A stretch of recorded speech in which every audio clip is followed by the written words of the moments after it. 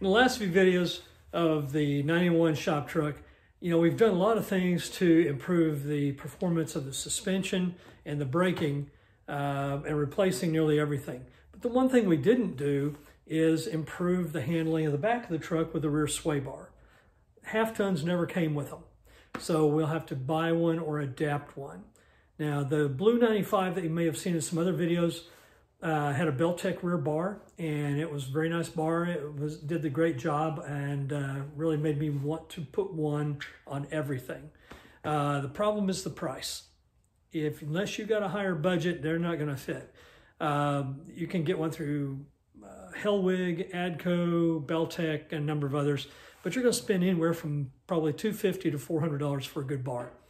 Well, there's a cheaper solution, I think, at least that's the route I'm going because this is a budget build truck, so we got to have a budget, right?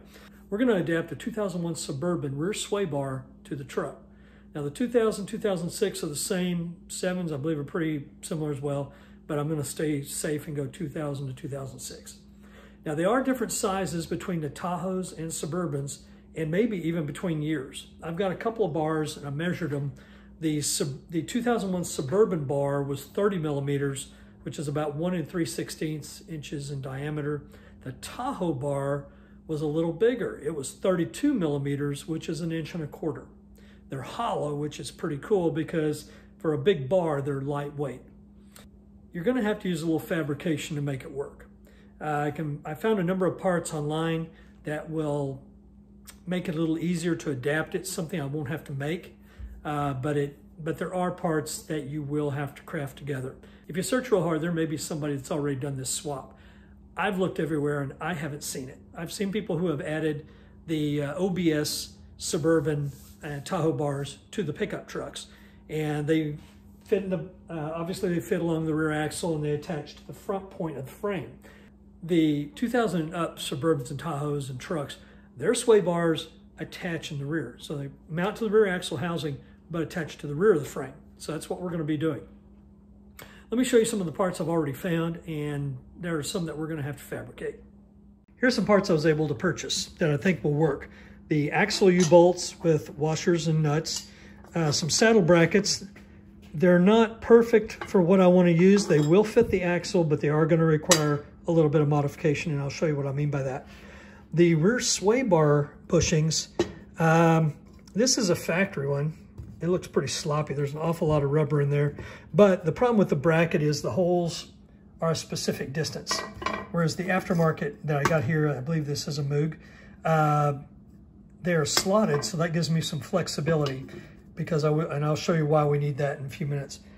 I got new dog legs, primarily because the ones I found are worn out uh, that are off of the trucks. Also, the bolt that attaches the dog leg to the frame you need to keep that. I've got them here somewhere, but you need to keep those because they don't come in a kit. You'll get the nut that comes on this uh, this bottom uh, portion, the ball joint, I guess that is. But the upper part, uh, you don't get a bolt with that. So you need to be sure and get a bar uh, with all the components. If you get one from the salvage yard, get one with everything on it. The old dog leg, everything, the bolts, that way there's that much less you have to come up with to adapt it to your application. Here's where we are.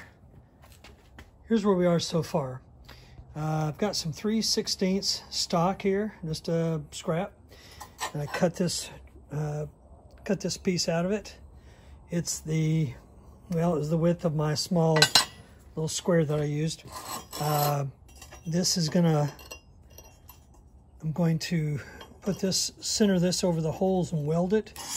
Fits perfectly with the, uh, the holes there. Uh, and that will be my saddle bracket. And once this is welded together, uh, we should be able to mount one side of the sway bar.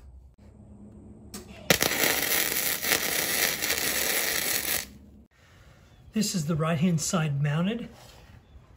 Here's all the pieces laid out, ready to be installed. These are what the brackets look like that are going to hold the, I've been calling them dog legs or dog bones. It's the end links for the sway bar. And it's basically just two pieces of angle iron uh, made into a T. And then I just trimmed it up a bit so it looked a little better instead of obviously like angle iron. Uh, I beaded it, shot it with a little chassis black. Uh, got some hardware from uh, Ace Hardware. Uh, this is the original bolt that came with the, uh, the end links on the original uh, Suburban. And we got the bar, the saddle bracket, a Moog sway bar. That's a kind of a universal. I like the slotted design. And then here's the saddle bracket we made. Now this is two parts. If you remember, uh, the actual saddle bracket itself was a little little short. It has the correct three inch uh, curvature. Overall, the whole bracket was just a bit short. So I cut a bit of 3 16 stock and welded it in place, drilled two holes, and shot it with a little black so it'd look pretty. Okay, knowing now that that's what the whole setup looks like, let's install it and make sure everything fits just right.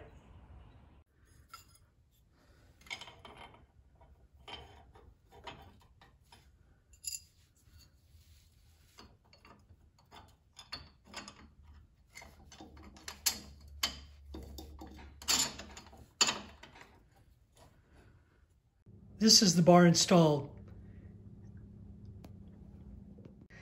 One thing I want to show you as well is the angle. There should be a slight forward motion of that end link. On the Tahoes and Suburbans, it points at about the 1230 position. It's not a lot, but it is enough so that as the rear end moves and the and the link moves as well, it won't jam up against that angle iron.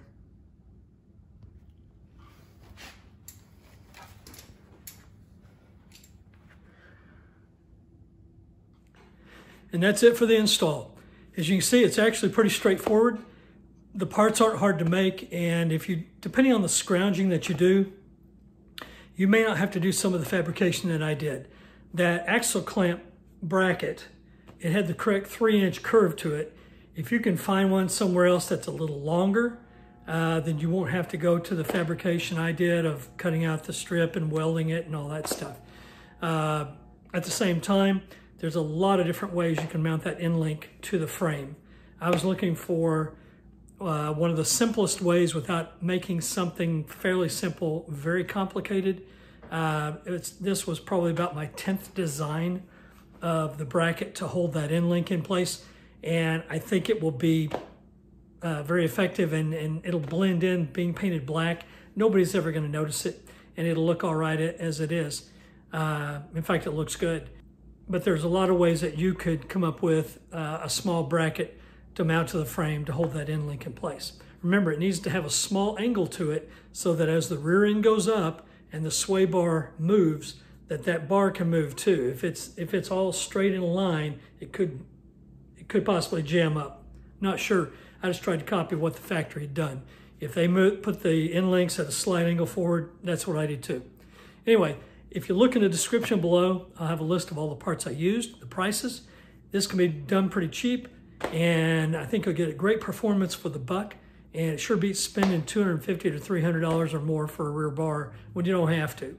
So thanks for watching. I hope you learned something from it.